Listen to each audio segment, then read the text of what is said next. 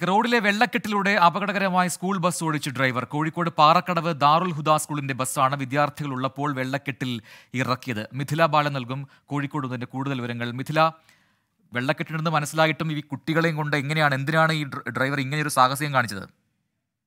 രജിൻ അതുതന്നെയാണ് ഇവിടെ ചോദ്യം. നാട്ടുകാരുടെ പ്രതിഷേധത്തിനിടയാക്കിയതും ഇതുതന്നെയാണ്.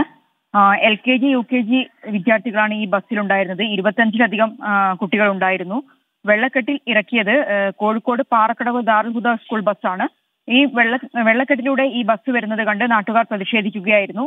പിന്നീട് കുട്ടികളെ മറ്റൊരു ബസ്സിൽ ഈ നാട്ടുകാരുടെ പ്രതിഷേധത്തെ തുടർന്ന് കുട്ടികളെ വഴിയിൽ അതായത് ഈ വെള്ളക്കെട്ടിൽ തന്നെ ഇറക്കി വിട്ടു.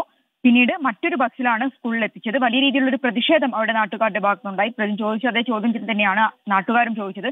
വെള്ളക്കെട്ടാണ് എന്ന് അറിഞ്ഞുകൊണ്ട് എന്തിന് വെള്ളക്കെട്ടിലൂടെ ഈ ഒരു പ്രത്യേകിച്ച് ചെറിയ മക്കളാണ് L K G U K G എന്ന് പറയുമ്പോൾ തന്നെ നമുക്കറിയാം ആ കുഞ്ഞുങ്ങളുടെ പ്രായം എത്രയായിരിക്കുന്നു. ആ കുഞ്ഞുങ്ങളെയും കൊണ്ടാണ് ഇത്തരത്തിൽ വെള്ളക്കെട്ടിലൂടെ ബസ് ഓടിച്ചത്. മിഥില ബാലനാണ് കോഴിക്കോട് നിന്നും വിവരങ്ങൾ പങ്കുവച്ചത്.